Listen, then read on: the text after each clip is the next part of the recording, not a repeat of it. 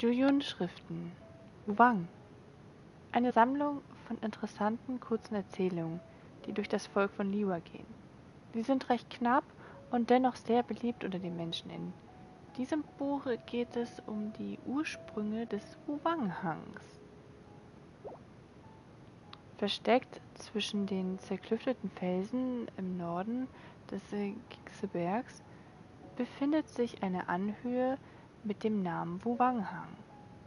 Es ist ein Ort, dessen Bedrohlichkeit fast schon spürbar ist und um den sich viele Geschichten rund um übernatürliche Phänomene ranken. In Liwa erzählt man sich, dass die Geister der Toten in den Wäldern am Wuwanghang ihr Unwesen treiben.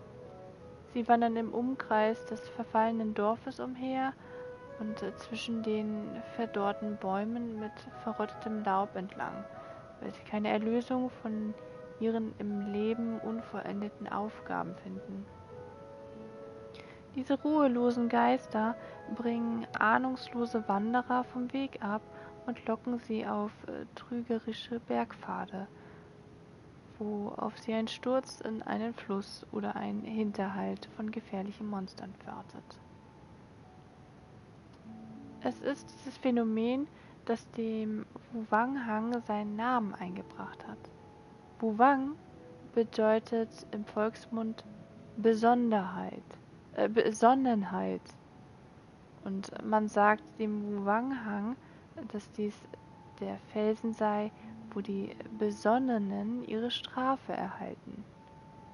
Denn selbst jene Reisende, die auf ihrem Weg nicht voreilig oder impulsiv handeln, sind dazu verdammt, von der Bösartigkeit ergriffen zu werden, die hier den Nebelschwaden der Bergluft schwelt. Sowohl unschuldige Dorfbewohner als auch ahnungslose Besucher lassen sich leicht von den Geistern am Wuwanghang täuschen und werden von ihnen in den dunklen Wald gelockt in dem der undurchdringliche Nebel den Himmel verdunkelt und unbekannte Gefahren in den Schatten lauern. Diese unheilvollen Geister finden viele Wege, um Sterbliche zu täuschen. Einige befallen sie in Form von Gram oder Trauer, andere in Form von Bedauern, indem sie sich als die Stimme von Toten manifestieren, als die Liebe eines verlorenen Menschen oder als die Reue der Gegenseite in einem nicht beigelegten Streit. Der Reisende fühlt sich dann gezwungen, dem Ruf des Geistes nachzukommen und ihm in den Tiefen von Wuwang zu folgen. Allerdings war der Wuwang-Hang nicht immer so.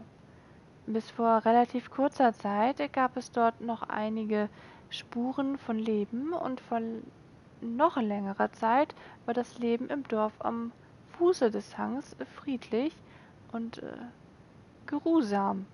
Aus den Schornsteinen stieg stets Rauch empor und die Laternen brannten. Dasselbe Dorf ist heute verlassen. Die Gebäude sind nur noch Ruinen und alles, was von den Dorfbewohnern übrig geblieben ist, ist das undeutliche Murmeln aus dem Jenseits.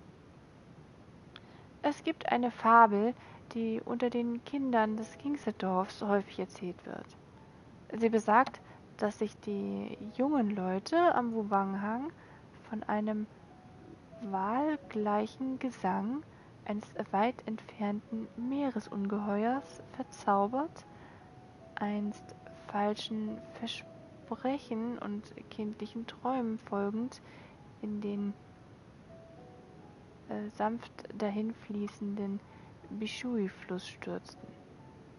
Sie trieben den Fluss entlang bis ins Wolkenmeer, wo sie einst eins wurden mit den Wellen und alle ihre Erinnerungen an den Wald und ihr Dorf auf dem Berg verloren. Ihre Träume wurden unterdessen zum Gesang des Meeresungeheuers.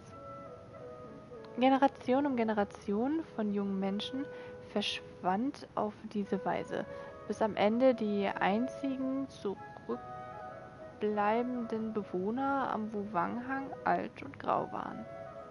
Einer nach dem anderen verließen sie diese Welt der Sterblichen unter Trauergeschluchze. Die Lichter des Hafens von Liva, dem ganzen Stolz von Rex Lapis, leuchteten heller denn je zuvor, während sich ein weiteres verlassenes Bergdorf in eine stille Geisterstadt verwandelte. Doch anders als die flüchtige, wankelmütige menschliche Geist vergisst der Fluss der Elemente nichts. Ein Strom von Elementarenergie nimmt Geistergestalt an, um all die Träume der einstigen Bewohner am Wuwanghang wieder zu erschaffen. Die Guten wie die Schlechten, fast wie eine Mutter, die in der Vergangenheit ein Kind verloren hat und nun verzweifelt in ihrer unwiederbringlichen Vergangenheit nach einem Weg sucht, alles wieder zum Leben zu erwecken.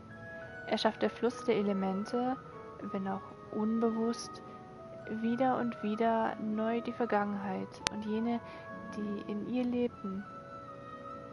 So ihr Aussehen, die Art, wie jedes Kind weinte, die Seufzer der Ältesten an ihrem Lebensabend, auch wie der magische Gesang der großen Kreaturen der Tiefsee, der jede nostalgische Seele, die ihren Fuß in diesen Gegend setzt, unwissentlich in ihren Bann